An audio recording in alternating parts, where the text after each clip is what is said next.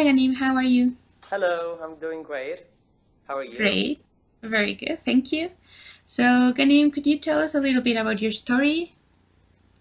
Okay, so my name is Ghanim AlSulaiti. I live in Qatar, Doha, um, and I'm 24 years old.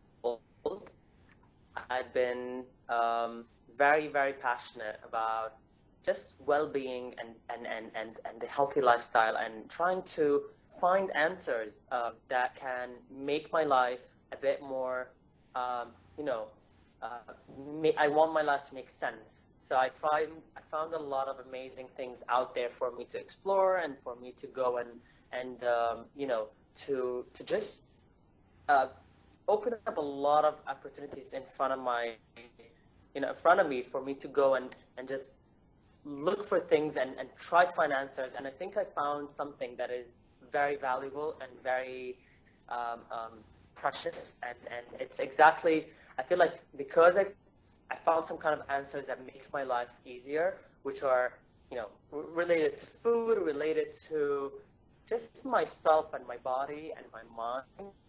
And I think at this age, it just brought me so much uh, um, understanding of, of the world around me. And uh, so, yeah, I'm very, very passionate about healthy lifestyle. I've been vegan for the past two and a half years. Um, I've just made a lot of transitioning in my life just for me to be healthier and, and be more conscious about what goes into my body. Um, besides me being a tunnel engineer, um, um, a traveler, like fitness uh, enthusiast, I'm I'm a human being. You know, I'm a conscious living creature. I I, I really want to live consciously, and I think that's what is how you define me. I'm a conscious living creature. I think that's just what is all, what is it all about? Um, it's just how we can adapt in this kind of life or on this earth without affecting one another um, um, and and trying to promote this kind of you know well-being um, vibes uh, all around us. And uh, and uh, yeah that's just that's a bit of about me but uh, yeah I'm, I'm, I'm, I'm, there's a lot of definitions if you say well, like what is really Ghanim but I think that's that's how I see myself now. Like I feel like I I grew a lot in the past couple of years. I've traveled so like into so many like around the world I've been traveling for the past two years like to around like 17 countries, exploring cultures, exploring um, um, different traditions, and meeting new people, and getting to know that um, that we are all in this together, but we mm-hmm. live in bits apart of the of the of the earth that we don't seem to, you know, uh, like we don't seem to have this kind of it feels like we are we are living really far, but we are all living like very close together, and we have the same kind of common, um, you know, uh, uh, characteristics and and, and, and, and and behaviors. And I think when I traveled, I saw that, and I think we connect we connect in so many different ways with so many people. I mean, I'm talking to you now from across the world, and I think just that's just amazing to see the interaction that we can have here nowadays with this modern um, stage. So there's a lot of amazing, amazing things happening, and uh, yeah, I'm just super, super excited to be like part of this project. Good. Um, how did you started with these? What, what, well, what? Why did you decided to become vegan two years ago? Okay. Um, I think one of the most important thing is just I've been always, always trying to find the next. Like I've been always like healthy. Uh, uh, uh, just trying to be like more healthy. Like even when I was a mm-hmm. kid, I was always trying to find the healthiest option just for the sake of the word, you know, itself.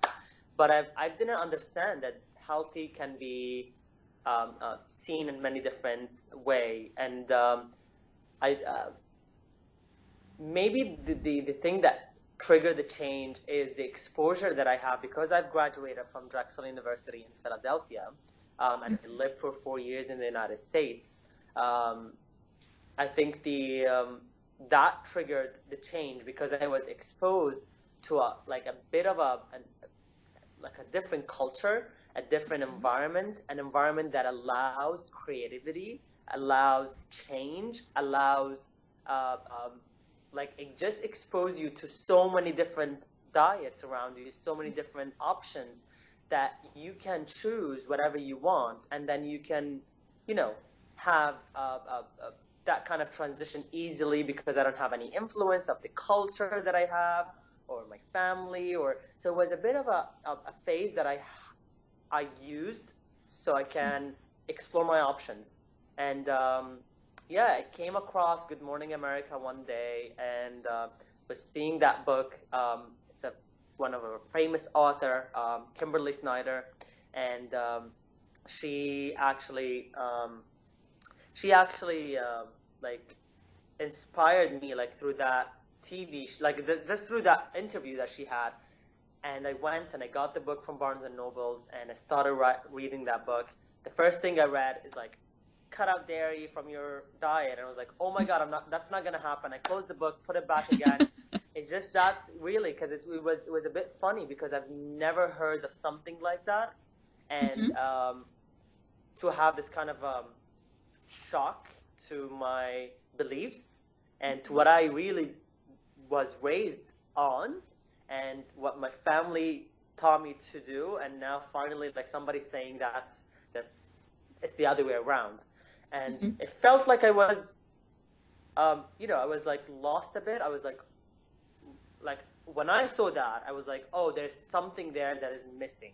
There's something mm-hmm. there that is not like nobody told me and nobody have said anything. So I felt, let me go and explore. So I started reading and reading and reading, and it just I evolved with it. It didn't happen in one day. It just it, it went through phases. It went through transition, and I felt better every time I did something about my diet. It felt amazing that I'm including more vegetables, which I didn't do before. Uh, I didn't know the value of vegetables and fruits and, and mm-hmm. whole foods and, and, and, and just being on a, on a, on a, on a, on a healthy diet.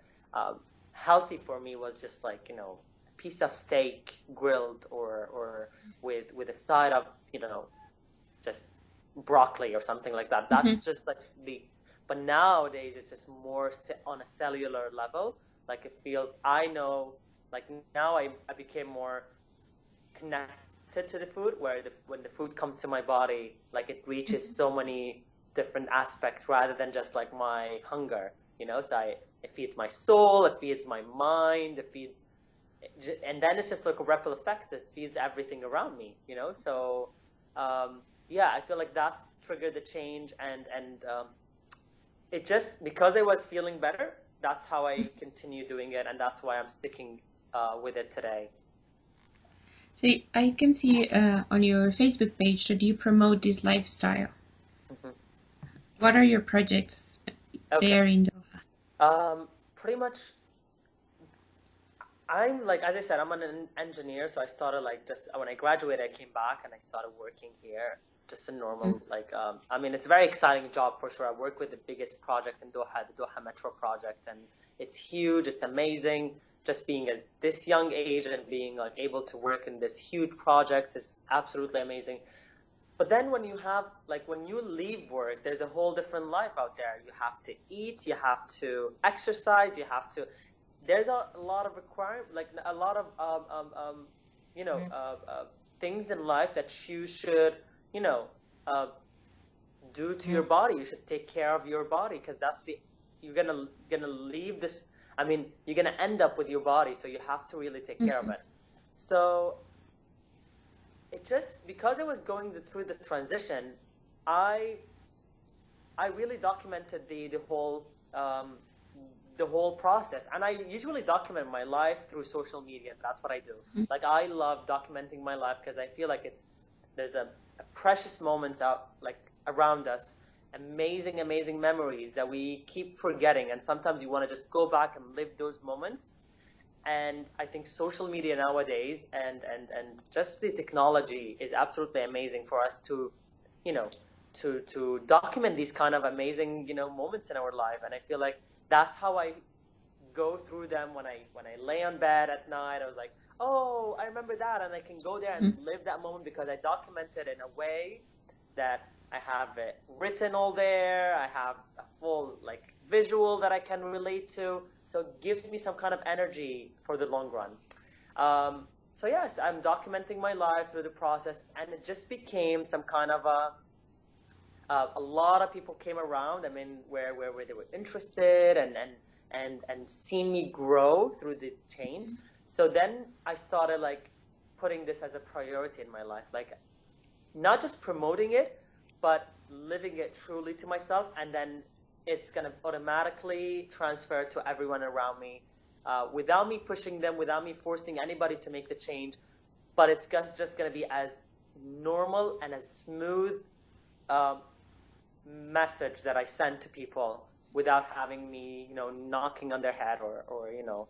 Um, so I feel like that's what happened. So I, uh, a lot of the projects that I've been I'm doing nowadays is pretty much, um, um, I mean, is all comes in the same um, category, which is like trying to just raise awareness of conscious living. And that's what I've been doing. I'm just like trying to raise awareness of conscious living and being conscious eater. Um, so yeah, I'm doing a lot of amazing um, events where I visit colleges and universities and, and talk to students and which I can relate because I've been a student three years ago, you know what I mean? So it's like it's not like yes. like ten years or twenty years. So I feel mm-hmm. like it's just I can relate so much to the students and I can um, see what how you know what are the tips that I can give to them and that I think that's what started where it started where the whole thing started.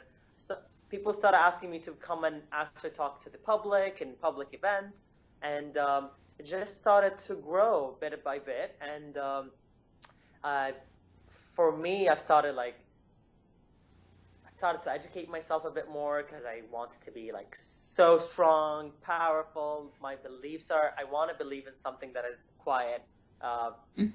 strong, you know, and, and, and, and that's my foundation. So, I mean, if you see like behind me, I have like tons of books that I've been like reading and, and I went like to take a couple of courses here and there just to make myself like a bit more, um, um, you know, uh, just a bit more competent, you know, and um, yeah, doing that, it just led me to one kind of path, which is I just announced that yesterday, but I'm I'm actually opening my first vegan restaurant in Qatar, mm-hmm.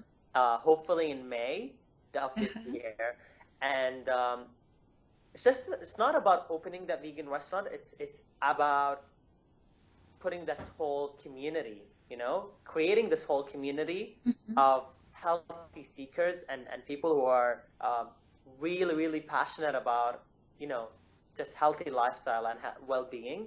Um, I want to create that kind of platform. I feel like Doha is, very, is ready to have this kind of change for people to come and, and, and, and, and interact and engage and share this kind of amazing mm-hmm. knowledge that we have here.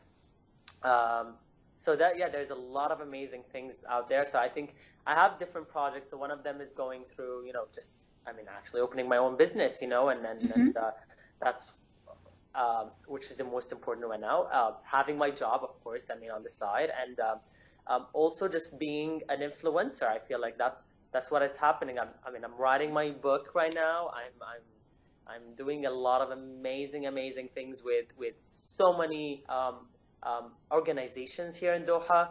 Uh, in regard to organic, uh, you know, uh, uh, plant planting and and, and, and, and growing your organic produce um, in regard to have, I mean, mm. I got yeah, I got a bit of a um, an amazing um, like team around me. I feel like there's a lot of nice people here, um, and we're growing, and I think we're we're a bit growing, and I think there's a lot of potential here in Doha.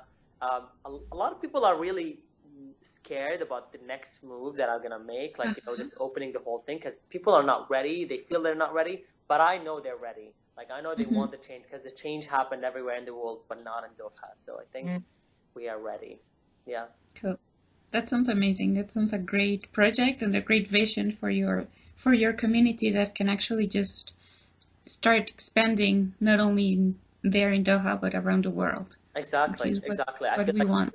We're starting in the GCC. That's I think a very um, um, strategic, like, or actually, it's it's just the the the uh, the location itself, like being closer to a community where we were.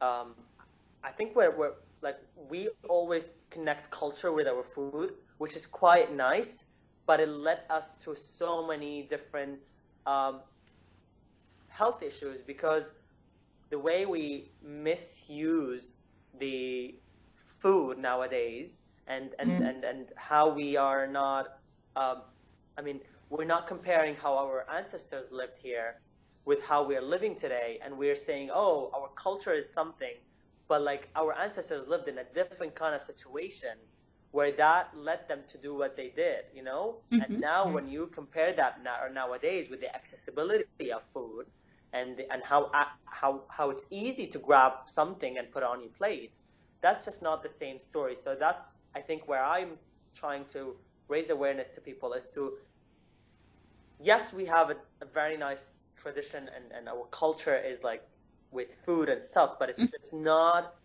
it's not as easy as just saying oh let's just follow our tradition nowadays and be like oh i'm i'm i'm, I'm I belong to you know this kind of culture with with this kind of food. Mm. No, don't connect food with that because that's a that's a it's a human behavior to react to its environment, and our environment has changed nowadays, and we live in a very modern, easy, accessible, and that's why I don't we don't want I don't want people to take it for granted.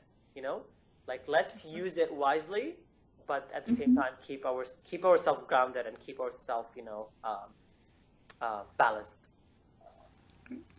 Um, now about the book that you that you, you are um, we are promoting the What's Left to Eat. Mm-hmm. What called you about this project?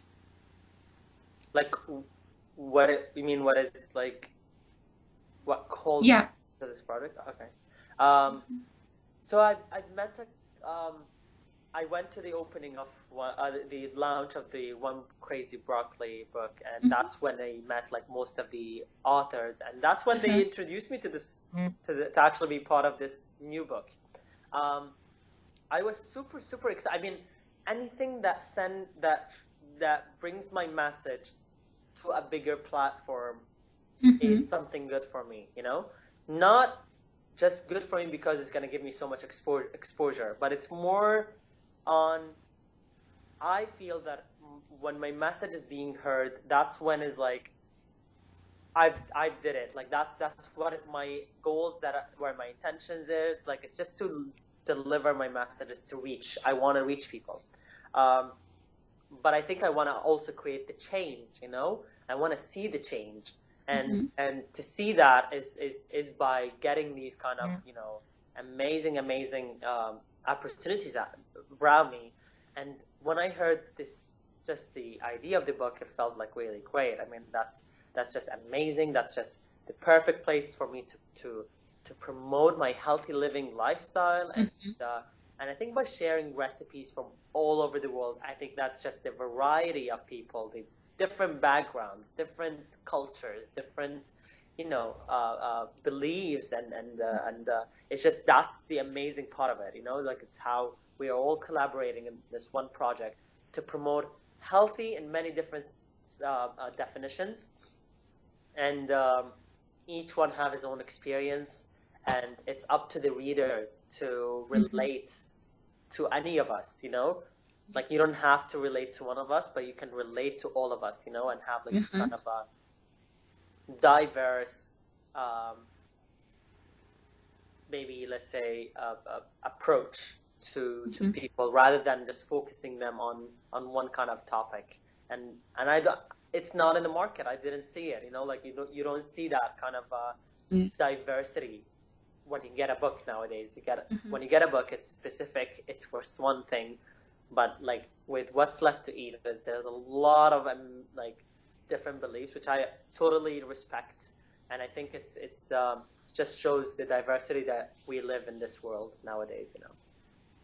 What is your favorite food? What is the thing that it's never missing from your kitchen? Never, never, never, never missing. Never. Oh well, there's a lot of things that are never missing. but lately, I'm in love with sweet potatoes. So sweet potatoes mm-hmm. everywhere. Um, that's what I like. I feel like that's the only. I mean, I don't if you like, you can't like I don't answer these questions with like a dish. I answer with a Mhm. with a, a real whole food because I feel like yeah. it is at, like that's exactly how it's in, God intended us to eat it. So I feel like when it comes from the ground, that's how I'm gonna eat it, rather than just Mhm. putting it somewhere and like uh, and, and, and, and and take it from its natural uh, look. But yeah, sweet potatoes, and the second one will be like coconuts, and and it's so many variation with Mm. oil or meat or water, anything, but it's coconuts. Um, okay. these two, I think, that are the most favorite, like nowadays, and I think they're amazing. I mean, who doesn't love them? You know, Yeah. Well, I'm not in love with sweet potatoes, but really. I do love cook. Yeah. You They're not my favorite them. thing. You should try them. You should should have them a bit more. I think it's uh, Yeah. it's at um, it's very it's a very um, uh, change the taste bud a bit, but it takes Mhm. time to get used to it. Yeah, but Well, um, could you give the people the, your contact link so they can reach you, whatever questions they have for you or of for course. your uh, social media? I mean, I um, just launched my new website, which is uh. Uh, the spelling is G H A N I M A L S U L A I T I dot com. Um, I share most of my recipes there and, and most of my travel itineraries and, and, and uh, a lot of amazing things about my whole lifestyle. Um, the best, best, best way to actually follow my journey is Instagram. That's where I usually do it. Instagram and Facebook. That's what I share most of my Mhm. daily, you know, um, activities and and and uh, projects. And um, so my Instagram is at uh, Ghanim92, G H A N I M 92. Um, my Facebook is just my name. Um, um, you can you can all find these links on my website. So once you go on my website, you're gonna have all my social media platforms. Um, and my new restaurant's called Evergreen Organics. Um, And um, you can find it on Instagram too at evergreen underscore organics. Um, we are super super excited to you know to have this kind of new platform, and I invite you all like who's listening out there to you know come and follow our journey. It's absolutely amazing to see this sprouting in the Middle East, you know, um, in, a, in, a, in a place where it's not used to sprouts. So, yeah, I'm super excited. Oh, very good. I am so excited too, even though I won't be able to be there. Are you going to be Hopefully. invited for sure? Hopefully, soon. hopefully soon. I would love to travel over there soon. amazing. Yes, that would be amazing. So thank you, Ghanim, so much for for for this time. You're welcome. Thank you so much, and I'm really, really excited for what's left to eat book to be out there for the people for the people to read. And uh, it is it is um, very um, you know it, like to see how we grow as a community and how we grow as, as people is as like is just um, mind blowing for me. So I'm I'm really grateful. Um, thank you so much for giving me this chance to be you know to just share my message on this platform. Thank you for sharing it. Appreciate It it. was very interesting Amazing. meeting.